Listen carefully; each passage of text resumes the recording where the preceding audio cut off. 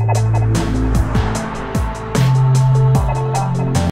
this video, we're going to talk about how to perform the sum if or sum ifs functions in Google Sheets when you want to sum a date column that contains a full date and sum it by just the month and year.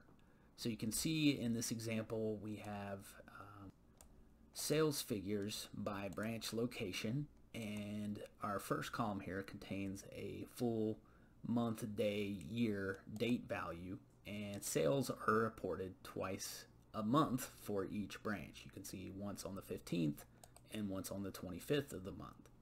And what we want to do here in this first example is perform a sum if that groups our sales figures by just the month and year. Now to convert a date value to just month and year we need to use the text function. And just to show you real quickly what that does by itself, if we take an input in this first argument, we'll just take this February 15th, 2020 date in cell A11 and format it to three digit month, four digit year.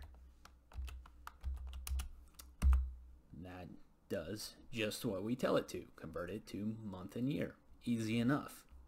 Now the problem is the text function is not an array function. The sum if is an array function. So in order for us to, to tell Google Sheets to tell the text function to convert this to an array, we need to nest it within the array formula. And that just converts anything that is not an array into an array. So we'll begin with our sum if. Our first input is our range, and the sum if just performs a sum based on one single criteria. So our first input is our criteria range, which is column A, the date, because our criteria is this cell here, January 2020, month and year. But as I said, we need to convert that criteria date range to a just a month and a year and we also need to convert that text function to an array. So we have the array formula and the only input we're going to put in there is the output of our text function which it has two inputs, our number, that's going to be our column, column A, and then we're going to convert that to the date value we see here. So it's going to be, again, three digit month, four digit year. So now we're back into our sum if function. The next argument is the criteria. That is going to be this value to the left in this cell. And then the final input is our sum range, which is going to be column C. So you can see that produces 3.8 million.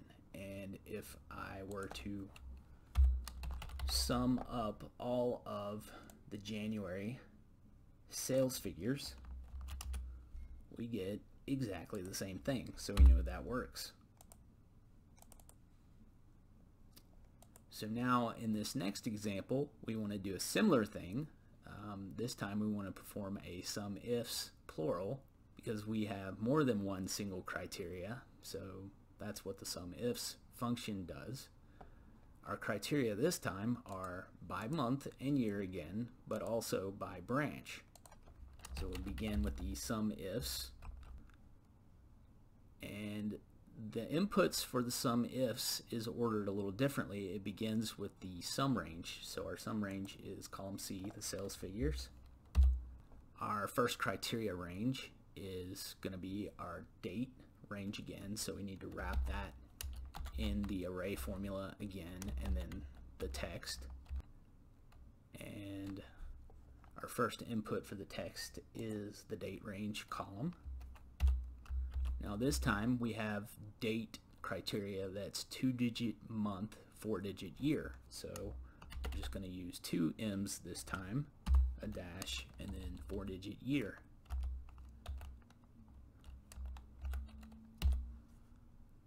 Our criteria for that column is going to be the value in this cell here to the left. And I want to hit F4 three times to lock the column but keep the row relative.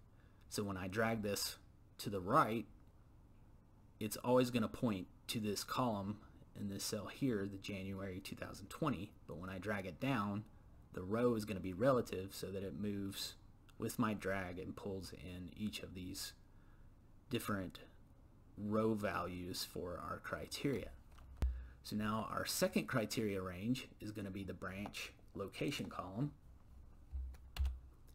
And the criteria for that criteria column is going to be this header value here in the row above. Now this time I want to hit F4 two times because I want to keep the row locked but the column relative. So when I drag down it always points to this header value in this cell here but when I drag it across it moves relative with my drag to get these different row headers. So you can see this produces 1,065,000 for branch 1 for the month of January. And if I add up just the branch 1 values down here for January, I get exactly the same thing.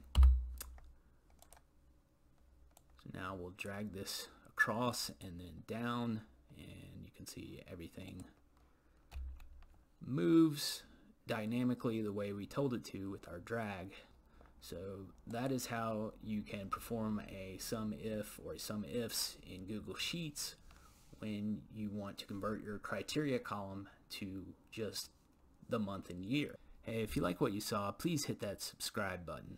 Thanks for watching.